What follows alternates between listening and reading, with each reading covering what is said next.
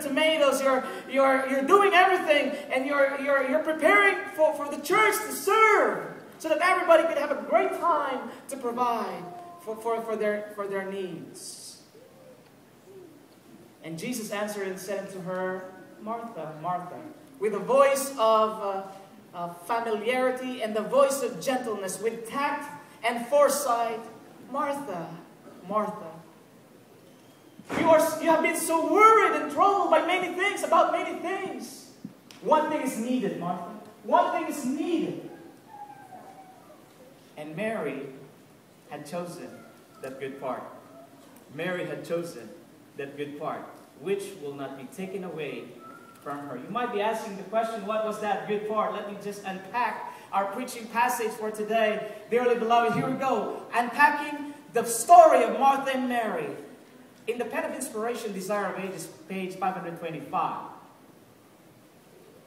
The pen of Ellen G. White wrote there, Martha was so anxious to provide for the needs of her guests. In her anxiety, in her worried state, she forgot the courtesy due to her guests. Dearly beloved, if we can apply this, if we would like to be relevant in our time today, as a loving community, let me say this. We may have been, we probably, some of us, maybe, I could, I could resonate with this. Sometimes in Martha, I'm so, I'm so uh, uh, choleric, and I would like to finish something that sometimes we forget that when there are guests among us, that this is our place, that this is our home church, that there are guests who are coming here that we forgot, that we forget to extend due courtesy to these people. You might be saying, yeah, but this is our house. This is our house church. But then again, friends, we would like, we would like to fellowship with those people who are coming in to our place.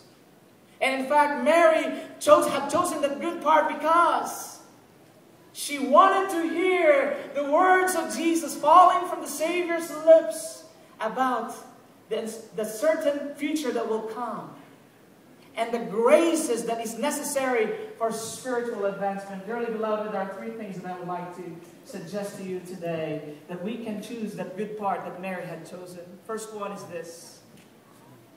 Mary, just before she sat at the feet of Jesus' feet and just before she heard the words of Jesus, she let go of her worldly cares.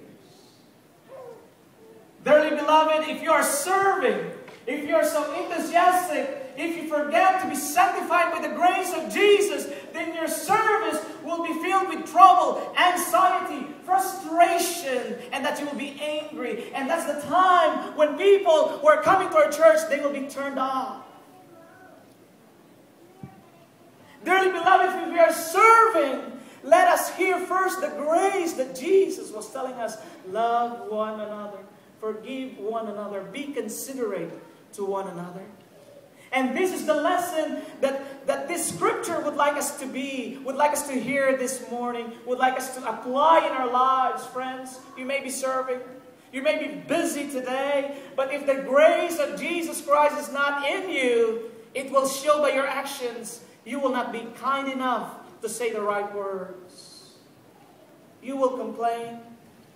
You will say something that you thought may not hurt somebody, but it had hurt somebody. And you just don't, you justify your, your, your question, and you will just say, just like that guy, who is my neighbor, by the way. But the question that Jesus would like you to ask today yourself, am I, am I a good neighbor? I read about this story just, just a few days ago from the newspaper. It tells about a story from Montrose, Colorado, and uh, his name was John Hunt. He was 61 years old. He was semi-retired, and he was uh, he was an avid lugger in the out country of somewhere near in Denver. And this is a true story, and I read this. And while, she was, while he was uh, trying to get some firewood for, for probably for winter, the, the sixth ton. You know, it's a sixth ton, right? You hear me, all right? Are you with me? God is good. Amen. All the time. Six ton, probably in his trailer, rolled all of a sudden and pinned his right foot. Or just imagine a six foot ton, a six ton, I mean, trailer. Oh, it was excruciating pain. Uh, it was painful, ex- excruciating. And the news, the news uh, reporter mentioned that he was. Don't follow this. He, when he was in pain, he, he spoke a lot of, uh, of bad words. You know, when you're in pain, you forget yourself. You speak uh, bad words. You get. Are we? Are we? Are, do we? Do we resonate? Do I resonate? If you're in pain, you, you say profanities and you don't know you, you all the names there. It's all bad names, right?